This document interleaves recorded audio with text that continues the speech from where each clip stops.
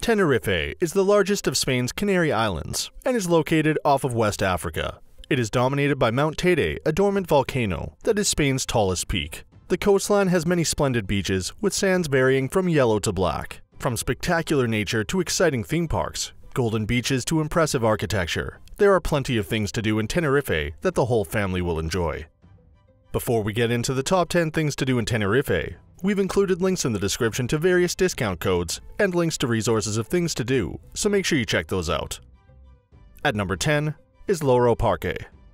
Loro Parque Zoo is located in Puerto de la Cruz and is one of the most visited attractions in the Canary Islands. Initially dedicated to parrots, the park is now expanded and is home to a diverse range of animals and plants that include whales, sea lions, tigers, chimpanzees, and alligators. There is also an aquarium, a jungle area, children's play area, and many shows featuring parrots, dolphins, and sea lions. Visitors can see thousands of animals in this beautiful tropical park.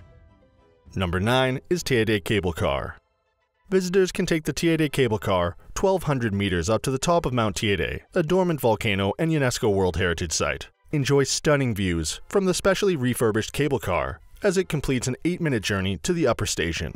There, you can check out the local flora and fauna, many of which are completely unique to the island, admire the wildlife, and even climb up to the very summit before you eventually glide back down. At number 8 is whale and dolphin watching.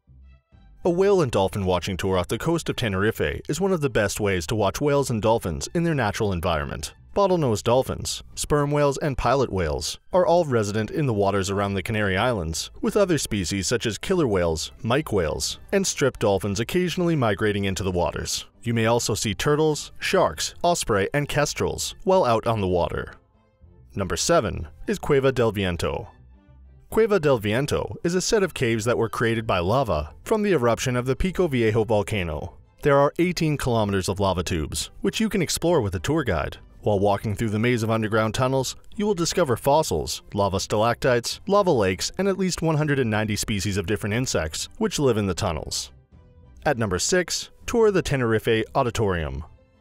The Tenerife Auditorium is an iconic modern art sculpture created in a grand architectural style by the internationally renowned Spanish architect Santiago Calatrava. One of the finest buildings in the Canary Islands, the venue frequently hosts talks, exhibitions, and music events. Guided multilingual tours will take you behind the scenes of this remarkable building. Number 5 is Teide Observatory.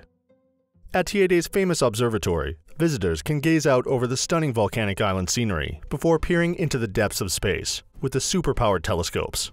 Learn about the importance of astrophysics and solar observation in the interactive workshops, and then safely stare at our own sun like never before. You'll be able to see real sunspots and solar flares, with a view that's really out of this world. At number 4 are the Pyramids of Güímar.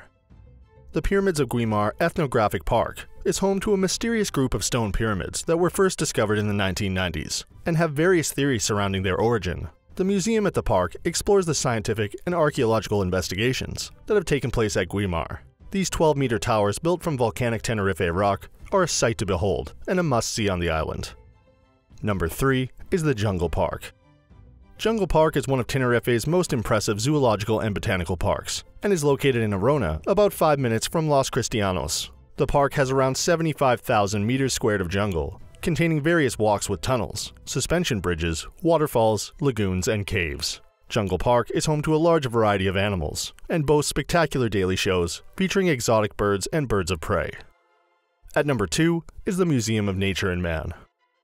The Museum of Nature and Man in Santa Cruz contains many important artifacts related to the history of the Canary Islands. It has a large collection of native tools and carvings, as well as well-preserved mummies from around the world.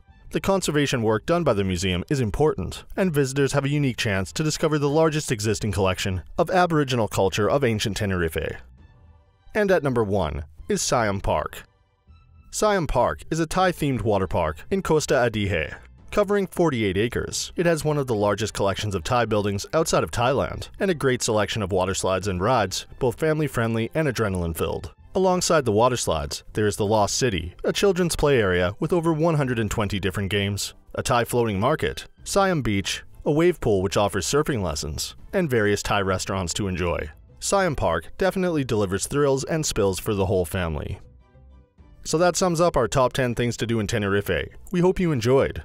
If you did, please leave a like, and if you're new here, feel free to subscribe. Until next video, have a great day.